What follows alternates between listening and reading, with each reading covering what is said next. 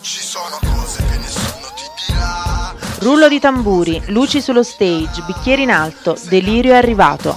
Tommaso Aprea, travolgente, ricco di vitalità, bartender di professione, giudica il bere miscelato una cultura.